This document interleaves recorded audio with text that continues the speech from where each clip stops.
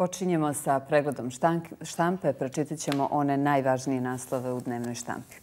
Vijesti danas pišu sporan politički stav ne i zloupotrebe. E, kriterijumi dijela vlade za imenovanja u državnim firmama. Generalni sekretar građanskog pokretura Mileta Radovanić za vijesti partijski kadar nije sporan ako je stručan. Na bilom hljebu i Dejan Vukšić, ne računajući ministra, još 15 funkcionera prethodne vlade tražilo je naknadu po prestanku funkcije, a među njima ima i onih koji su na funkcijama proveli tri mjeseca. Kadrovske promjene i jačanje uprave policije, rotacije u foteljama nakon sistematizacije. To su naslovi u vijestima. Pobjeda donosi naslove preko koordinatora i komisije izvukli više od milioni cedisa.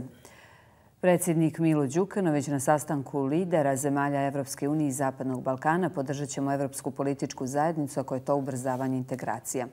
Mjere vlade za ublažavanje rasta cijena namirnica, ukupna maksimalna marža za brašno, šećer, so, ulje i so 12%. Poglavar Crnogorske pravoslavne crkve najavljuje formiranje tima za pregovore o ugovoru sa državom. Sljedeće sedmice uputiću zvaničan zahtje premijeru za sastanak. Abazović hoće da Đukanović ostane na čelu elektroprivrede Crne Gore. Olujni vjetar obarao stabla, padao grad veličine oraha. Svakako ćemo ove naslove komentarisati kasnije sa našim gostima. Marko, šta nam donosi štampa kod tebe? E, čini mi se dosta sličnih naslova. Dnevne novine dan ipak na naslovnici donose nova politička kombinatorika DPS-a. Sjednica parlamenta glavnog grada zakazana za 5. jul. Dan prije isteka mandata Skupštini opet biraju Vukovića.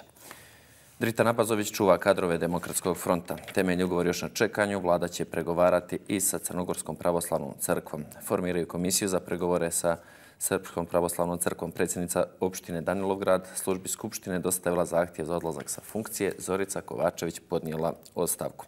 Iz Montefarma danu saopšteno da je nabavka za imunizaciju protiv raka grlića materice koštala 114.000 e, eura. Kupljena HPV vakcina za 1000 djevojčica. Vlada osvojila predlog ugovora o izgradnji hidroelektrane koji će se danas potpisati sa energetskom kompanijom. Elektroprivreda Crne Gore dobija koncesiju za komarnicu na 30 godina.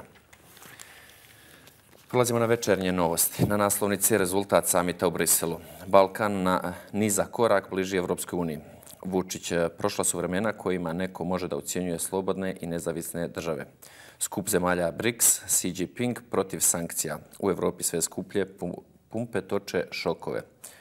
To bi bili naslovi iz večernjih novosti. Politika na naslovnici Aleksandar Vučić posle samita Evropska unija Zapadni Balkan biće bolje u decembru. Stefanović i Hrkalovićeva pozvani na razgovor. Prije nego što počnemo, predstavit ćemo naše goste. Sa nama je ovoga jutra član Demokratskog fronta Petar Drašković. Dobro jutro i hvala što ste se odazvali našem pozivu. Dobro jutro, hvala na pozivu. Također sa nama i Socialističke narodne partije, gospodin Bogdan Božać. Dobro jutro i vama. Dobro jutro i hvala na pozivu. Evo krenut ćemo od dnevnih e, novina dana. Temeljni ugovor još na čekanju. Vlada će pregovarati i sa Crnogorskom pravoslavnom crkvom. Formiraju komisiju za pregovore. Kako komentarišete, gospodine Draškoviću, ovo i kada bi bilo realno da možemo očekivati potpisivanje temeljnog ugovora? Pa što se tiče potpisivanja temeljnog ugovora, on je treba da bude potpisan još davno, a znamo da prethodna vlada nije imala kapaciteta da to završi, niti je bila spremna da potpiše temeljni ugovor na pravi način, već je to odlagano iz raznih nekih misterioznih razloga, a znamo da je temeljni ugovor praktično temeljna stvar i temeljni akt koji uređuje odnos između Srpske pravoslavne crkve koja okuplja pravoslavne vjernike u Crnoj Gori i same države. Znamo da postoje takvi temeljni ugovori, odnosno takav vrsta akta sa drugim vjerskim zajednicama, a ne postoji sa onom najvećom koja u Crnoj Gori postoji hiljadu godina i preko hiljadu godina kakva je Srpska pravoslavna crkva. Također, e, što se tiče samog temeljnog ugovora, on mora da sadrži sve one stvari koje uređuju na pravi način odnose kakve treba da budu između države i takve jedne vjerske zajednice. E, vezano za sam temeljni ugovor, mislim da bi on trebao da se potpiše što prije. To je stvar koja treba da se završi, naravno, praktično u hitnom roku. Ali e, ono što je, što je glavna stvar je da Srpska pravoslavna crkva ovdje u Crnoj Gori postoji toliko dugo vremena da e, odnosi kakvi treba da budu, trebali su da budu toliko vremena uređeni kako valja. Jer znamo da je Crna Gora u svojoj istoriji bila pravoslavna zemlja, da je bila e, praktično u jednom dobrom dijelu istoriji teokratije u Crnoj Gori i zaista je sramota što ovoliko vremena nemamo regulisane odnose sa najvećom vjerskom zajednicom i sa Srpskom pravoslavnom crkvom koja je, da kažemo, i napravila hrišćansku revoluciju ovdje u Crnoj Gori. A znamo da sa druge strane priča o Crnogorskoj pravoslavnoj crkvi koja nije ni crkva, nego je registrovana MVO u policijskoj e, stanici apsolutno nema govora o tome da može da se govori o bilo kakvoj nekoj crkvenoj priči i odnose između države i takve neke zajednice ili takve neke organizacije. Gospodine Božoviću, kako vi komentarišete ovo? Da li ste saglasi sa kolegom? Evo vidimo da i ministar pravde Marko Kovač je već bio najavio da će u junu biti potpisan ugovor i sada već vidimo u dijelu parlamentarne većine da ima sukobljavanja u mišljenjima i stavovima. Pa, apsolutno saglasan sam sa kolegom Petrom. Dakle, e, temeljni ugovor sa Srpskom pravoslavnom crkvom je trebalo odavno da bude potpisan i to je u suštini bio i zadatak prethodne 42. vlade Crne Gore. Kao što svi znamo, pobjeda 30. augusta je dominantno ostvarena zbog veličanstvenih litija koje su nastale kao posljedicu usvajanja takozvanog zakona o slobodi vjeroispovijesti. Dakle, potpisivanje temeljnog ugovora, to je uređenje odnosa između crkve i države, je bio jedan od osnovnih motiva zašto je Socialistička narodna partija uopšte i pristala da bude dio 43. vlade Crne Gore. Dakle, mi očekujemo da ugovor sa Srpskom pravoslavnom crkvom bude potpisan u najskorijem e, roku. Koliko imam informacije, dakle, on je u E, većem dilu praktično 100% e, već usaglašen i očekujem da u narednim danima budemo imali i bliži datum kada bi mogao potpisati, biti mogao potpisan ugovor. Pomenuli ste i potpisivanje ugovora sa Crnogorskom pravoslavnom crkvom. Moj lični stav i Socialističke narodne partije da e, država treba da potpisuje ugovore samo sa onim vjerskim zajednicama, konkretno sa crkvama koje su kanonski priznate. E, ministar Ranko Krivokapić kazao je da se pregovara sa četiri eparhije Srpske pravoslavne crkve i da to podržava. One su registrovane u Crnoj Gori i nada se da će postići se dogovor sa njima. Naravno, pomenuta je Crnogorska pravoslavna crkva da ne izbjegnem to. Ministarstvo pravde ne pregovara sa Srpskom pravoslavnom crkvom, isto je rekao ministar Krivokapić. Kako to komentarišete? Pa dobro, mislim da su te izjave motivisane prije svega političkim stavovima gospodina Krivokapića. Država, koliko sam upoznato, je vlada, pregovara Srpskom pravoslavnom crkvom i tu apsolutno nema dileme i ugovor će biti potpisan sa Srpskom pravoslavnom crkvom a te izjave ne bih detaljnije komentarisao. To je verovatno neka intencija želja da se to prebaci na politički teren i da se na taj način skuplji jeftini politički poeni pojeni, imajući u vidu očekivanja biračkog tijela tih političkih subjekata. Gospodine Draškoviću, kako vi komentarišete e, ovu izjavu ministra Ranka Krivokapića? Mislim da su to priče kad je e, jedna stranka kakva je SDP želi da nametne određene svoje stavove u vladi današnjoj koja funkcioniše nelegitimno i nenarodno i kakva je bila i prošla. I gospodin e, Ranko Krivokapić je praktično čovjek koji jasno pokazuje kakva je smjernica jedne takve politike. Današnja vlada isto funkcioniše po principu da koliko ministara imamo toliko i politika, a prije svega imamo jednu stranku kako je SDP koja danas participira u ovoj vladi, koja ima jednu politiku koja je zaista nacional-socialistička, koja ide ka nekom ekstremnom pravcu, imaju praktično dva poslanika, imaju vrlo mali broj ministara, ali oni određuju pravac određene politike kako je evo danas koju percipira i koju pokušava da nametne Ranko Krivokapić i, i gospodin Raško Konjević. Oni su praktično ljudi koji e, e, imaju jedan zadatak koji ide ka tome da se poštuju određene belvederske vrijednosti u okviru današnje vlade i koja pokazuje e, određene smjernice koje nisu, nisu uopšte e, praktično ni prijateljski nastrojene prema onome što je tradicionalna Crna Gora, prema srpskom narodu, prema tradicionalnim vjerskim zajednicama, kako je i Srpska pravoslavna crkva. I e, njihovi stavovi nimalo ne korespondiraju sa nekim normalnim današnjim stavovima jedne normalne demokratske zajednice, jedne normalne priče koja treba da ide ka tome da imamo civilizovano društvo, a ne nikakve neke e, ekstremiste koji treba na bilo kakav način da podrivaju Crnogoru. Evo ja bih se nadovezao, juče se dosta razgovaralo o temi u elektroprivredi Crne Gore. Abazović čuva kadrove demokratskog fronta. Abazović je predložio da Milutin Đukanović bude član borda direktora, što je naišlo na protivljanje SDP-a i Bošnjačke stranke.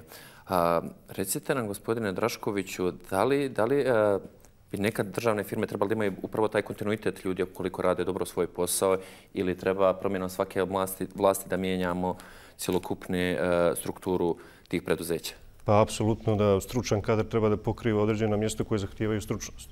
E, što se tiče konkretno Eh, za imenovanje elektroprivrede Crne Gore. Gospodin Milutin Đukanović je odradio jedan fenomenalan posao u elektroprivredi Crne Gore. On je čovjek koji je eh, praktično revitalizovao funkcionisanje na pravi način eh, te državne kompanije. Ona je napravila određene i istorijske rezultate. Ona je napravila istorijski profit koji je preko 47 miliona evra.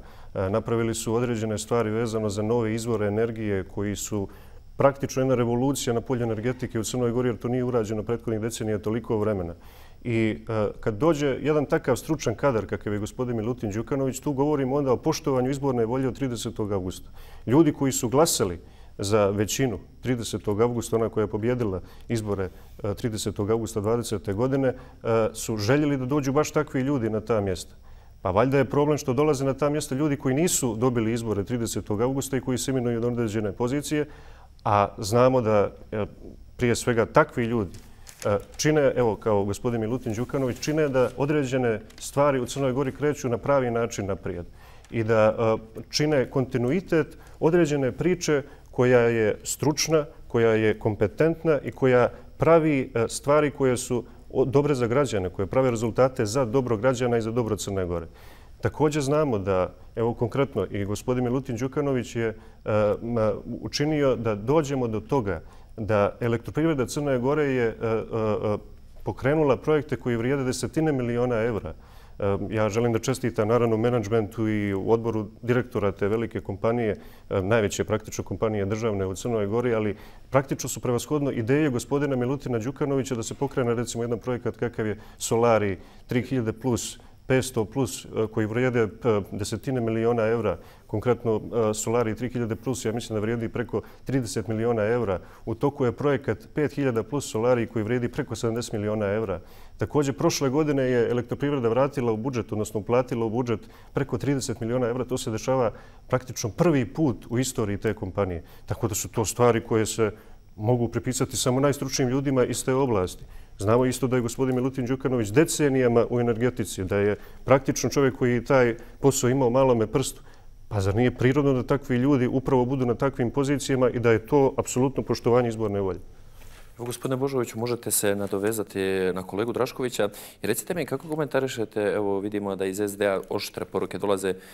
E, funkcioner Nikola Zirojević je poručio da je građanske partije DPS manjinske stranke trebaju da napuste vladu i uskrate podršku, a da bi trebalo ili da potpišu koalicijni sporazum sa ADF-om zbog ovakve odluke? Dobro, ne bih konkretno komentarisao izjave iz socijaldemokratske partije. Jedno dovezovi se na priču kolege Draškovića. Dakle, Crna Gora, Crna Gora je, kao što znamo, mala zemlja. Imamo dakle, sužen izbor kada je riječ o odabiru kadrova koji posjeduju odgovarajuće znanje i obrazovanje da bi pokrivali odgovorne pozicije u našoj državi. E, mislim da bi na posljednjem mjestu trebala da bude e, partijska pripadnost kada je riječ o kriterijumima da li neko može ili ne može da pokriva određeno mjesto. Dakle, predstavnici Socialističke narodne partije u vladi Crne Gore su glasali da u odboru elektroprivrede Crne Gore bude gospodin Čuković upravo na osnovu ovoga što je govorio gospodin Drašković, dakle na osnovu kompetencija i na osnovu rezultata koji su postignuti u, u, u prethodnom periodu. E, također, ne bi se saglasio samo sa onim što je govorio gospodin Drašković da ova vlada nelegitimna i da je nelegalna, ali bi se saglasio sa onim što je rekao da se na ovaj način poštuje ipak izborna volja u, onom, u jednom dijelu od, e, koja je e, rezultovala pobjedom 30. E, augusta. I što se tiče socijalističke narodne partije, dakle, kada je riječ o ovako odgovornim pozicijama u državi, mi smatramo da uvijek treba na prvom mjestu da bude znanje i obrazovanje, ali iskustvo kako bi neko mogao da odgovori izazovima određenog e, mjesta koje predstavljaju odgovorna mjesta u okviru državnog sistema. E, u intervju za vijestima, u vijestima generalni sekretar e, građanskog pokreta URA Mileta Radovanić kazao je da partijski kadar nije sporan ako je stručan i da će kompletiranje sastava Ustavnog suda biti najveći izazov u narednom periodu. Kako komentarišete ovo i e, da li smatrate da je važno da na čelu ovako važnih kompanija o kojima razgovaramo bude ili ne bude partijski kadar? Pa najvažnije je da li neko ima dovoljno znanje i iskustva da obavlja te funkcije znači, na poslednje mjesto. saglasni ste sa Apsolutno sam saglasan sa gospodinom Radovanićem da treba da prioritet budu neki drugi kriterijumi, a najmanje politička pripadnost. Na kraju krajeva od toga zavisi kakvi će rezultati biti kompanija. Mi znamo u prethodnom periodu koliko se odgovorno Dakle, koliko su ljudi koji su nalazili na čelnim pozicijama tih preduzeća odgovorno vodili ta preduzeća koja su u prethodnim decenijama bilježile milionske gubitke. Tako da mislim da je došlo vrijeme i to je jedna od prepostavki koja mi se čini da će biti zadovoljena u narednom periodu kada smo govorili da je ova 43. vlada ima intenciju namjeru da bude pomiriteljska vlada. Ja ne znam za neku vladu u prethodnom periodu da je na odgovorna mjesta postavljali ljudi iz opozicije i iz parlamentarne većine. Tako da to govori u prilog onoj tezi i onoj prepostavci koji smo, koje smo govorili prije nego što je vlada formirana, da mi želimo da ova vlada bude pomiriteljska i da nađemo te neke tačke ovaj, oko kojih se možemo kupiti i kako, možemo, kako bi mogli svi zajedno da činimo ono što je najviše u našoj mogućnosti, što će biti na dobrobit svih građana Crne Gore. Gospodine Draškoviću, kako vi komentarišete ovu izjavu E, gospodine Radovanić. Pa ja sam upravo htio da kažem da i ova sadašnja vlada i na jučerašnjoj sjednici smijenila određene isto funkcionere Demokratskog fronta kad su bila određene imenovanja juče i smjene. E, tako da, kako sam, e, govorio sam o onim stvarima vezano za e, stručan kadar koji funkcioniše u određenim preduzećima, pa smo došli do toga da evo, na primjer, u željeznicama, u održavanju voznih e, sestava u željeznici je smijenjen čovjek koji dolazi iz Demokratskog fronta, koji je praktično čovjek koji je usko stručan, koji je profesor dr. Tripko Draganić, koji je toliko vremena u tom poslu, pa je smijenjen, iako je on čovjek koji je praktično verziran za tu priču koja je usko stručna, koja e, ima određene stvari koje, koje e, zahtijevaju e, reforme, koje zahtijevaju novosti vezano za željeznicu Crne Gore, a imamo smjene gdje se govori da ti ljudi nisu stručni. Praktično, jedan princip koji treba da se poštuje, ako govorimo o stručnosti, ne treba da govorimo bilo šta drugo osim toga da neko, ako je toliko vremena proveo na određenom poslu, može da određeni posao obavlja upravo zbog toga što zna kako se taj posao radi. Ako imamo neko drugo pravilo, onda možemo da govorimo o samo nekom revanšizmu i nečemu sličnom gdje treba da se neko po svaku cijenu skine s određene pozicije. Također, e, e, zar treba neko ko je sad evo i formirao ovakvu nelegitimnu vlast kako je i sada, da govori kako ne treba da se poštoje izborna volja od 30. augusta. Izborna volja od 30. augusta govori o tome da evo kao noseća snaga E, tih izbora koje je pobjedilo na tim izborima kao demokratski front, treba da pokriva određene pozicije sa stručnim kadrom koji treba da pokrene stvari naprijed i da donese reforme. To je bila stvar koja je izbornu volju e, istakla u prvi plan i nešto što su građani glasali. Građani nisu glasali za to da te pozicije dolaze ljudi koji e, nisu pobjedili na izborima i koji te poslove ne znaju da obavljaju. Ako dolaze ljudi koji ne znaju da obavljaju te poslove i plus to nema veze s izbornom voljom, da govorimo o nekom totalnom haosu. Još jedan interesantan e, tekst u vijestima na Bijelom hljebu i Dejan Vukšić. Naknadu po prestanku funkcije traži je bivši direktor AMB-a, iako se njegovi metak mjeri stotinama hiljada eura u gotovini. Neračunujući ministra još 15 funkcionera prethodne vlade tražilo je naknadu po prestanku funkcije, a među njima ima i onih koji su na funkcijama proveli tri mjeseca. Gospodine Božoviću, kako vi vidite na ovaj naslov i generalno tekstu? Pa u suštini mislim da su to neke zakonske odredbe koje omogućavaju ljudima po napuštanju određenih funkcija da primiju naknadu, čini mi se, u periodu od godine dana. Možemo naravno diskutujemo da li je to pravedno ili nije s obzirom na, na standard naših građana i okolnosti u kojima oni žive i sa problemima sa kojima se oni suočavaju svakog dana. Ali svakako ljudi prosto koriste mogućnosti koje su, koje su zakonom dozvoljene i e, koriste pravo da primiju naknadu u narodnom periodu po okončanju funkcija možda bi u narodnom periodu moglo da se otvori i to pitanje, da li je to pravedno da neko nakon okončanja ili završetka mandata na nekoj funkciji ima pravo da prima naknadu u narodnom periodu. Da li je pravedno ili nije, po vašem ličnom mišljenju? Pa po mom ličnom mišljenju ne bih razdvajao, tako da kažem, običnog građanina ili nekoga funkcionera koji se, bez obzira na kojoj važnoj funkciji se nalazi, mislim da mi u suštini treba da, da iskažemo solidarnost u svakom trenutku, da li bilo to je situacija, ekonomska situacija dobra ili ne, I što se mene lično tiče, mislim da bi to u narodnom periodu trebalo kinuti to pravo. Gospodine Draškoviću. Pa što se tiče znači upravo ovakvih stvari, moram se nadovezati opet na imenovanja i na kadrove. E, priča koja treba da u Crnoj Gori postoji e, od izbora 30. augusta do dan danas, mi treba da znamo da poslovi koji treba da se obavljaju na pravi način, moraju zahtijevati stručnost, profesionalnost, bez obzira što se to tiče određenih stvari vezano za političku prirodu. Ako govorimo o izborima, moramo govoriti o politici. Dakle, kada govorimo o stručnosti, ne mora da znači ako je neko vezan za tradicionalnu Crnu Goru i za određeni politički subjekt, da automatski nije stručan. Mi imamo toliko ljudi koji nisu imali prilike da se dokažu na pravi način u Crnoj Gori zahvaljujući režimu koji je vladao 30 godina i nije dao nikome priliku da pokaže koliko može nešto da uradi. Čak su bili šikanirani u svojim preduzećima, nisu mogli da zauzimaju bilo koje rukovodeće pozicije, niti važne funkcije koje treba da vode određenu priču naprijed. Tako da smo mi došli u situaciju da evo, kao danas, kadrovi koji pokrivaju neke funkcije, konačno dokazuju da neka preduzeća mogu da funkcionišu na pravi način. Kao što sam rekao, evo, elektroprivreda Crne Gore u konkretnom slučaju napravila istorijske stvari. Ako možemo da napravimo istorijske stvari u određenom preduzeću, može da napravi i država, može da napravi bilo koji resor, ako dolaze pravi ljudi na ta mjesta. E, gospodine Božoviću, upravo je gospodin e, Drašković rekao da je elektroprivreda napravila neki istorijski rezultat. Međutim, e, tekst u vijestima sporan politički stav ne iz zloupotrebe. Ibrahimoviću smeta što predsjednik odbora direktora elektroprivrede ne dijeli NATO vrijednosti, a za kandidata u tom odboru predloži osobu čije su radnje ispitivali pravosudni organi. Mislim, taj posljednji dio vaše rečenice, odnosno toga teksta u novinama, je najvažniji mnogo važnije od toga da li neko dijeli, evo na primjer uzmemo NATO vrijednosti ili neke druge vrijednosti, postoje jasni kriterijumi kako neko može biti izabran u odborima državnih preduzeća i to je jedino mjerilo. Dakle, kao što sam već rekao, da li ima dovoljno iskustva, znanja da može da volja te funkcije, a najmanje je važno po mom nekom skromnom sudu da li, na primjer, to neko dijeli NATO vrijednosti ili ne da bi bio u nekom odboru do nekog državnog preduzeća. A kako komentarišete upravo ovaj drugi dio rečenice? Pa bilo je jedno u prethodnom periodu imenovanje, predlog imenovanja na vladi i znam da su ministri iz redova Socialističke narodne partije upravo bili protiv zbog toga jer je bilo pokrenut krivični e, postupak protiv određenog lica i naš negdje stav je da i bar što se tiče kadrova SMP, p-a, mi ne bismo naravno predložili nekoga protiv koga se vodi krivični postupak ili koji u prošlosti načini neko krivično dijelo što dovodi u sumnju da li on može da obavlja e, tu, taj posao ili funkciju u sladu sa zakonom. Gospodine Draškoviću, kako vi komentarišete izjavu ministra Ibrahimović? Ja zaista ne znam šta je imao na umu gospodin Ibrahimović kad je govorio o NATO vrijednostima vezano za usko stručan posao.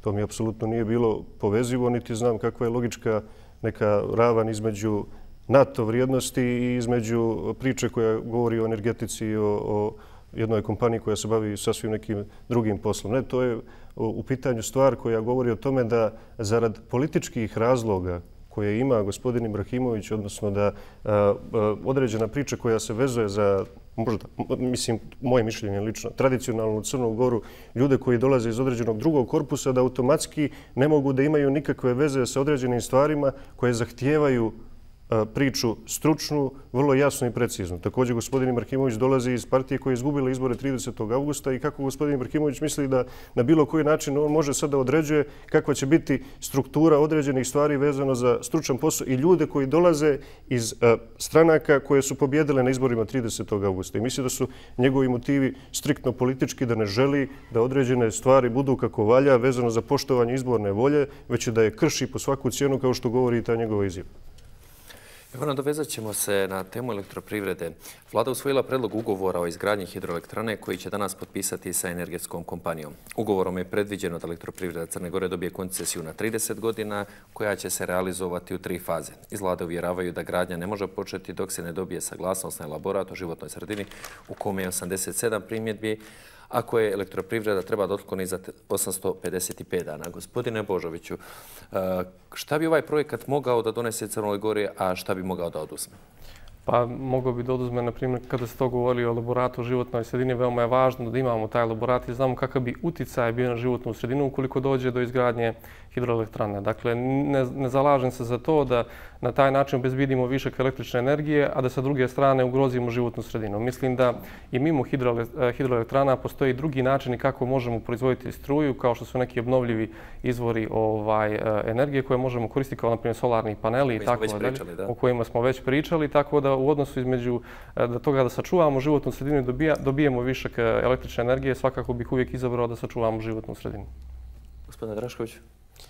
Pa mislim da konkretno elektroprivreda Crne Gore je napravila, kao što sam rekao i malo prije i u prethodnim e, ovaj, e, temama, da imamo e, novi izvor energije koji dolazi iz elektroprivrede, takozvana zelena energija koja je apsolutno neštetljiva za životnu sredinu. I govorimo o stvarima gdje treba da unapredimo dobijanje novih e, megavat časova i nove, nove energije koja dolazi iz određenih stvari koje apsolutno su u skladu sa svim principima današnjeg 21. vijeka. Također, e, što se tiče svih projekata koje danas elektroprivreda je vjerovatno, nadam se, ima u svom fokusu, su stvari koje treba da i unaprede e, priču vezano za e, nove izvore energije, za, za praktično novu jednu stvar u Crnoj Gori gdje nećemo zavisiti od bilo koga drugog, već da će Crna Gora proizvoditi dovoljno energije za sebe i za izvoz. Tako da mislim da su svi ti projekti na, na pravom mjestu, u pravom pravcu da idu i da će napraviti novi profit za veliku kompaniju. E, jedan od glavnih naslova u pobjedi jeste predsjednik Crne Gore na sastanku lidera zemalja Evropske unije i Zapadnog Balkana. Đukanović je kazao da će podržati Evropsku političku zajednicu ako je to ubrzavanje integracije. Kako vi ovo komentarišete, gospodin Drašković? Pa, konkretno što se tiče evropskih integracija, naravno to je vrlo važan put za Crnu Goru i evropske integracije svakako da imaju tu svoju težinu. Sa druge strane imamo situaciju kao što je bio sada samit u Briselu, gdje govori se o tome da postoje neki novi uslovi, da postoje neke e, nove stvari za određene zemlje. Ja mislim da lično po meni prava stvar za evropske integracije je da sve zemlje se ne odvajaju po određenim kriterijumima koji su političke prirode da nešto važi za jedne, a ne važi za druge. Mislim da, evo, konkretno e, dobili su status kandidata Moldavija i Ukrajina. Imamo situaciju da dobijaju status kandidata zemlje u koje je sada jedno stanje vrlo problematično gdje imamo krizu u Ukrajini, a dobija status kandidata. Mislim da stabilnost je vezana za zemlje koje dobijaju status kandidata i napreduju dalje u evropskim integracijama. A imamo situaciju također da na Balkanu određene zemlje toliko vremena stagniraju i ne mogu da naprave određeni pomak iako su dovoljno stabilne i pokušavaju da prave određeno dakle, normalno društvo. Dakle, da se mijenjaju određeni normativi Ali za normativi, normativi se mijenjaju i pokušavaju da se vjerovatno prema geopolitičkoj situaciji usmjeravaju prema određenim zemljama, zavisno od toga kako odgovara možda nekim drugim velikim silama. I situacija je takva da evo mi imamo sada inicijativu na lokalnom planu kako je otvoreni Balkan koja može samo da pomogne dalje u razvoju evropskog puta i učlanjenju u Evropsku uniju i Crnoj Gori i svim zemljama u regionu. I mislim da je to jedna sjajna inicijativa koja će više da poveže zemlje regiona, što je nama naravno važnije odnosno na sve druge zemlje u Evropi, na istočnu i zapadnu Evropu, ali glavna stvar je vezana za Balkan, kako mi ovdje funkcionišemo i da imamo lakši protok i stanovništva i robe i usluga i bilo čega drugog. I mislim da interes svakoga čovjeka, evo konkretno bilo koga Srbina, da može da bilo gdje ode kod svoga rođaka ili kod svoga sunarodnika bez ikakvih problema, bez suvišnih dokumenta, bez suvišne procedure, već će moći da, da, da živi kao svaki drugi građanin Evrope. Gospodine Božoviću, kako vi komentarišete Evropsku političku zajednicu, izjevu gospodina Đukanovića i upravo možda regionalnu inicijativu Otvoreni Balkan koju je pomenuo gospodin Drašković? Pa koliko sam upoznati inicijativa, dakle ideja Evropskoj zajednici je potekla od franskog predsjednika Makrona i možemo vidjeti da Demokratska partija socijalista kako vrijeme prolazi revidira svoje stavove. Dakle, ona se prvenstveno zalagala za belinski proces i Evropsku uniju i da apsolutno ništa nema alternativu u odnosu na to. Tako da sad vidimo da oni već mijenjaju polako svoje stave, to je predsjednik Demokratske partije socijalista i kaže da je Evropska zajednica može biti jedna alternativa ukoliko će ubrzati put ka evropskim integracijama.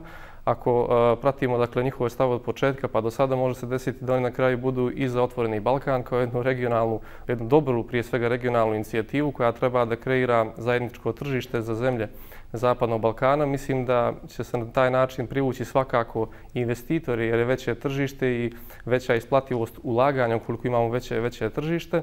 E, što se tiče, e, dakle, kada smo e, ulazili u 43. vladu Crne Gore, jedan motiva je svakako bio ubrzavanje procesa evropskih integracija. Kao što znate, mi imamo praktično blokirane određene sudske organe, kao što je sudski savjet, nemamo izabran ustavni sud, nemamo izabranog Eh, vrhovnog državnog tužioca i sve to nešto, sve su to neki, da kažemo, preduslovi koje prije svega moramo zbog sebe samih zadovoljiti i što prije izabrati te sudske instance kako bi naš sistem mogao da funkcioniše, ali svakako jedan od preduslova kako bi mogli u određenom vremenskom periodu postati članica Evropske unije. Meni se čini da, ono što je govorio gospodin eh, Drašković, eh, kada je riječ o tome, o odlukama ko će postati u određenom trenutku član Evropske unije ili neće, da dosta utica ima i politika. Dakle, naš proces pregovaranja traje već poprilično dugo. Mislim da smo zemlja e, uz Tursku, čini mi se, jedina zemlja u Evropi sa najdužim stažom kada je riječ o procesu pregovaranja i negdje je zaočekivano da u skorije vrijeme dobijemo barem približan datum, jer ovako se samo stalno prolongira i prolongira i stalno dobijamo neke nove e, uslove bez e, precizno definisanog datuma kada bi konačno mogli postati članice Europske unije. E, svakako će biti prilike da komentarišemo i e, ove inicijative, a i ostale naslove nekog drugog puta. Sad je došlo vrijeme za kraj naše rubrike Pregled štampe. Hvala vam puno što ste bili naši Hvala vam na poziv. Hvala vam. Poštovani gledalci, pravimo kratku pauzu, a onda se vraćamo sa najvažnijim vijestima.